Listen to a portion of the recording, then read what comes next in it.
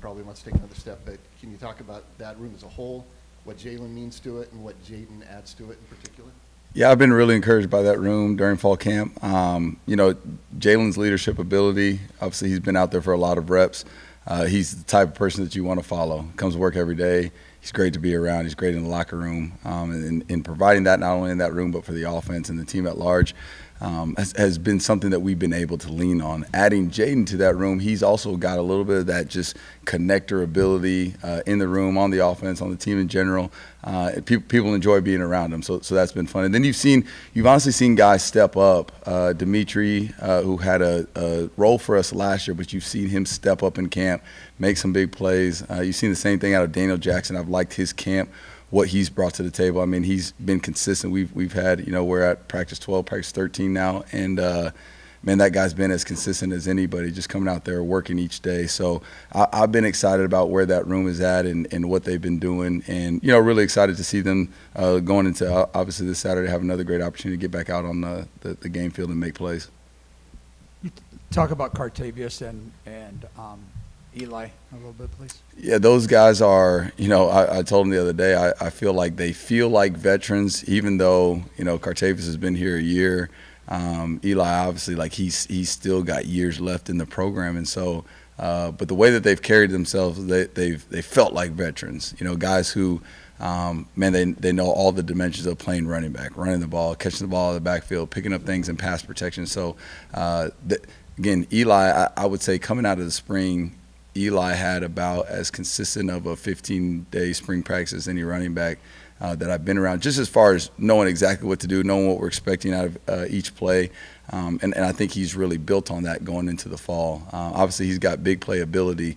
Uh, which, which you know, anytime uh, you got a running back like that and you get give him a crease, uh, he can make something happen in a hurry.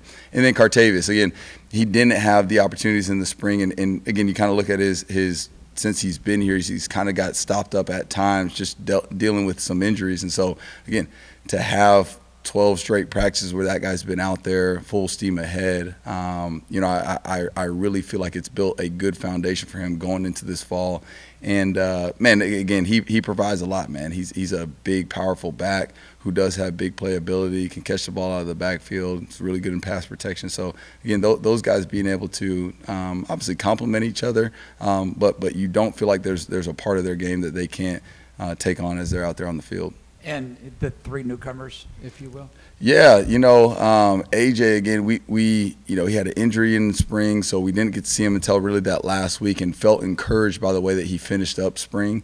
Um, and then and then again, he's done a he's done a great job. Like his his ability to play with low pad level, his ability to run through contact. He's a physical back. Um, and and I've really appreciated his physicality throughout fall camp.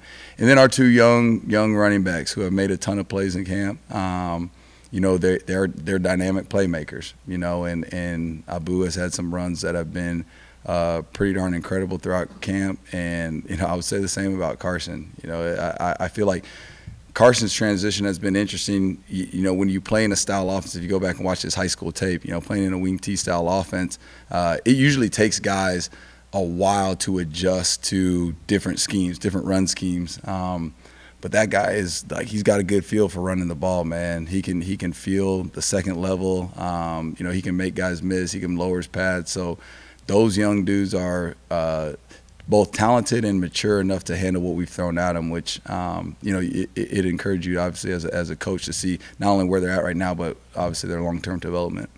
Just wanted to give you an opportunity to name a starting quarterback. yeah, I'm gonna take it as soon as Coach Campbell does it. You know, as soon as he does it, uh, I'll, I'll, follow suit. But you know, th- those guys have been working really hard. Um, we've put them in a lot of different situations in camp, which I think is really important um, to see them operate in two minute drills, to see them operate on third downs um, in different spots the, on the field. Uh, those guys have done a really good job of, I, I think, learning and growing from each rep.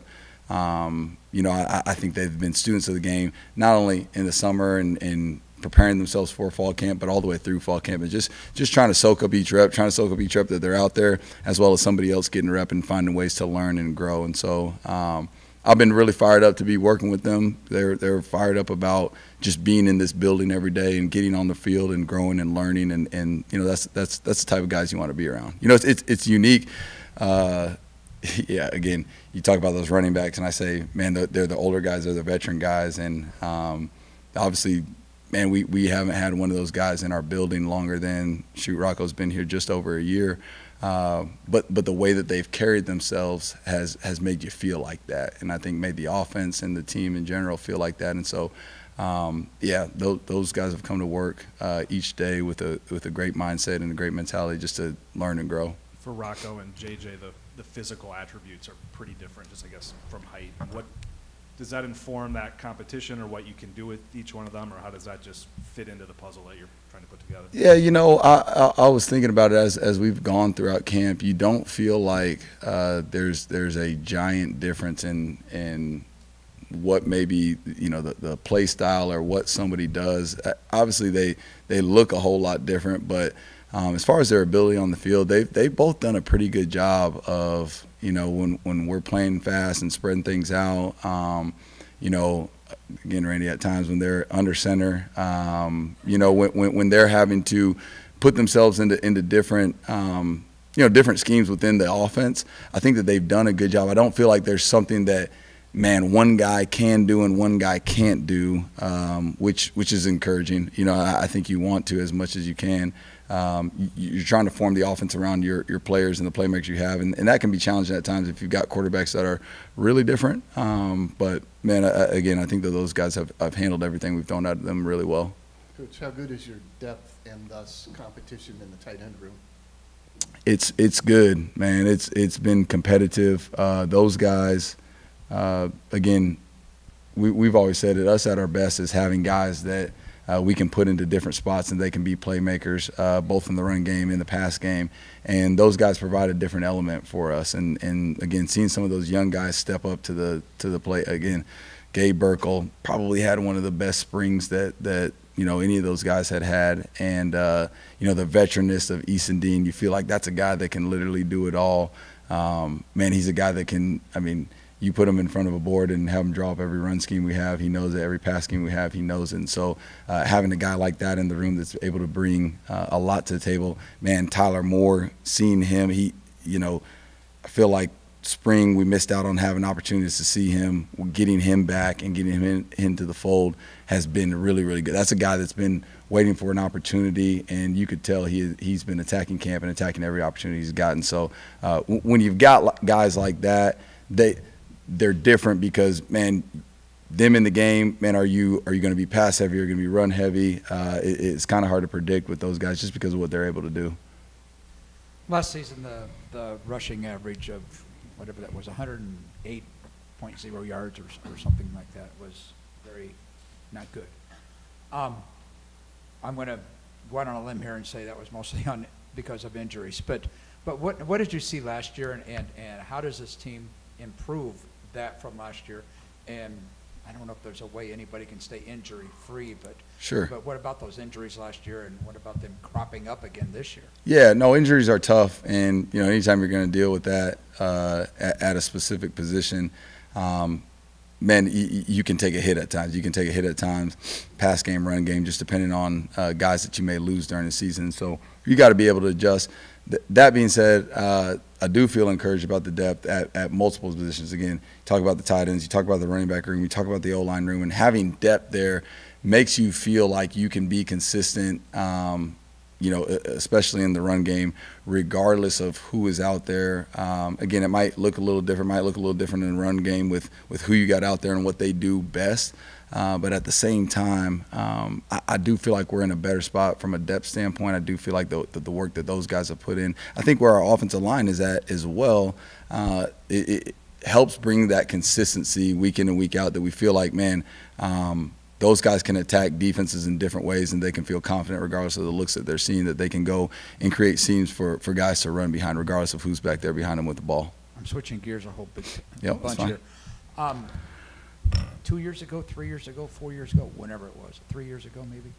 Um, what was your initial reaction when the it became evident that TJ Tampa, one of your receivers, was going to play running back, or was going to, was going to be a defensive back, and how- how'd those conversations go, and how'd that conversation go with you and, and his father? Sure. Uh, you know, TJ just spoke to the team the other night, and it was cool to hear him reflect back on uh, just his journey here. And I mean, he, he took it all the way back to when he showed up here, and you know, he was just on an unofficial visit. His flight gets canceled. He ends up going to our camp. He's playing receiver, making plays. Uh, he flips over on DB, and he's making some plays there. And and you know, I, I remember talking to him and his dad, even in the spring going into um, you know his career here, and he had just he played on both sides. He was playing seven on seven and had kind of been on both sides of the ball. And I knew I knew two things about TJ. Number one, that he was going to work uh, his tail off to go and be the best version of himself, and he didn't really have a. It's got to look like this. It's got to be this. I've got to. I got to be a receiver and run these routes. I've got to play this position and, and do this. Um, that that never really was at the forefront of his mind. He was just he felt like he had a lot of potential, wanted to be in the right program, right environment to go and um, experience that potential in the best way. And so you, you knew he came in with that mentality. And then number two, when he got here, you felt like this guy is about team. Like as much as anything, as much as he's a man, he's a highly rated player coming out of high school. He's he's got offers. He's got people banging at his door at the end. Um, you know, on signing day, uh, he gets here and he's and he's now at this point where man, he's he's got scouts in here every day that are watching him and, and thinking that he can go on to the next level and have success. The guy's been about team since I've been around him, and so honestly, those conversations were, man, you you guys know, but I remember talking to Mark, his dad, and saying like hey, you guys are more of experts than me. Um, and, and Mark, his dad, he's like a big time basketball guy. And so he's like, if I was telling them, you know, what to do in basketball, I'd be able to have the best opinion. But you guys are, are the coaches. You guys are the experts. And so he had great trust um, in in us as as developers and us as like seeing him and his potential and where it could go. And so it, it was one of those conversations. I think we all knew that it was best uh, for him, for the team, and I, I, don't, I don't think he ever flinched. Um, you know, I think I tried to steal him back a couple of reps just to get him on the jump ball now and again, but uh, he, he's obviously. You know, he, he's the type of person that, that you want to build this program on, and, and you know he, he's taken everything that we've we put in front of him, and, and towards the end, you had to, you had to battle Kirby for him a little bit, no? Yeah, yeah. No, there was a lot of late night conversations with the uh, Tampa's um, that that last week. You know, TJ didn't sign right on signing day because of all that, and so I remember uh, being on the phone with him early in the morning on signing day. Um, you know, he, he was on East Coast time. I remember honestly calling them and not getting a hold of them and just being like, "Oh Lord, what, what's going on right now?" Um, but but truthfully, it there there was a lot for him. You know, TJ grew up in Georgia. There there was a lot of allure to that, and and so I think he at the at the end of the day. Um, throughout a three-day span of conversations, uh, in, in which he never really felt like he was he was like, "Hey, coach, I don't know if this is like." The whole time he's like, "Man, I I, I just want to make sure." You know, I, I didn't expect this, and I had my mind set on one thing, and then this showed up, and I I just want to be sure. And and uh, yeah, at, at, at the end of the day, he's he's who he is. He's confident in himself. He's confident in putting himself in the right position, being around the right people, and uh, we're grateful for him and his family for believing in us. What has it been like for you to work with a great offensive line coach, like Ryan Clanton, and what has he really brought to this room, uh, especially with the veterans and the underclassmen as well? Yeah, I enjoy working with Coach Clanton. Um, you know, I enjoy him as a person, him as a coach. Uh, I enjoy the playlists that he brings to the offensive staff room. Good playlist guy on Spotify. You know, he, he he's got certain feels for the day of, of what we need in that staff room. So, um, but in all honesty, he's he he works really hard to be uh, an expert of his craft, and you appreciate working with people like that. You appreciate people who uh, care about not only their group but but the team in general. Uh, you know, I, I, think he's a person that, yeah, the offensive line has gravitated towards him, but again, pe- people just respect that that man. He's he's in it for more than just man somebody being a really good football player. He he wants to develop them as men, and when you got that kind of authenticity um, the, the, those are the type of coaches that you want to be around. So I've, again, it's been great working with. I'm, I'm, I'm looking forward to continuing that journey with him as we get into the season. Um, but, but yeah, he's, he's a heck of a coach and he's made a heck of an impact. I wanted to piggyback off that a little bit, and then I also had another question, just real quick. Yeah, um, I got time. You've, you've got two or three guys coming back, starters on that offensive line. Who are some of the younger ones that are really pushing maybe for those other one spots and then maybe filling out that two deep? Yeah, you know, it's it's a you can each day I feel like we walk off the field and there are different offensive linemen who end up being the standouts of practice, which is which is unique. And those guys can be older guys that, that you feel like are man really coming along. A Grant Treiber, for example, um, man has had a really good and consistent camp. Uh, man, Jared Hufford. There's days where it feels like, man, that guy is, is man as good as we've been around. Um, man, there's days where the, a guy like Dalen Hazer has a has a day where man he's consistent. He steps up. He he's um, you know, he's he's locked in in critical moments, knows what to expect. He's anticipating what's going on in front of him, uh, and, and, and honestly, he's got some physical tools that he's able to dominate at the point of attack. Again, the, the, the same thing. You got a young guy like Jim Bonifas who has has made a lot of plays, who's done a great job. Brady Peterson, who's been consistent throughout, um, and and so man, you could go person by person. Uh, Tyler Miller. James Neal, Daryl Simmons, and you feel like there's been a day, there's been two days where those guys have been, man, you would say the, the top one or two. Um, so, so that makes it unique, and it, and it makes it challenging on us to figure out exactly uh, what who works best together, who works best as as all five of those guys up front. Um, but you enjoy that challenge as a coach because you you don't feel like you're just trying to search and find guys. Man, can we find anybody who can go in there and play that spot? No, you, you feel like it's more of man who and I think these guys can do it. Who's going to be the best five? Who's going to work the best next to each other? Uh, which again, that's that's been a great part of fall camp and seeing those guys' development. And then as back to the tight end group, Ben Brahmer was not. I don't think he's one you mentioned, but has name has come up a lot this preseason. He wasn't here for spring ball. What's kind of when he arrived? What's kind of allowed him to make such a a quick impact in camp?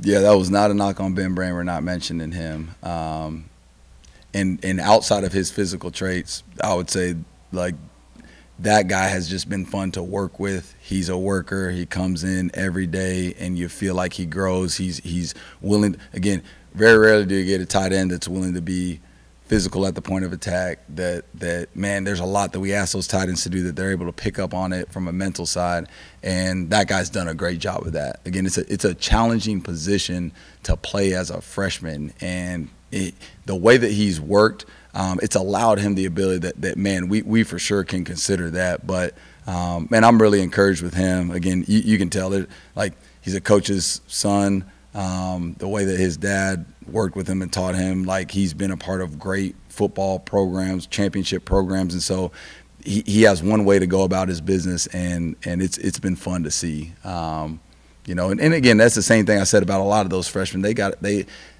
there's some of those guys that have that kind of trait in them and that they just man they, they come in here and they're green and they're young uh, but they've worked and they've they've made um, huge strides in the last couple of weeks, and so we're excited to see that development. Again, for, for young guys, that development can come at different times. Man, they, they might be ready week one, two of the season in your non-conference. It might be midway through the year that that those guys end up being guys that, that end up rising and having roles on the team. You know, we've seen that with our guys. You know, throughout the year, some of the best ones that man, it happens at different moments, but uh, you can kind of see some of those traits that they you realize they got the ability to impact.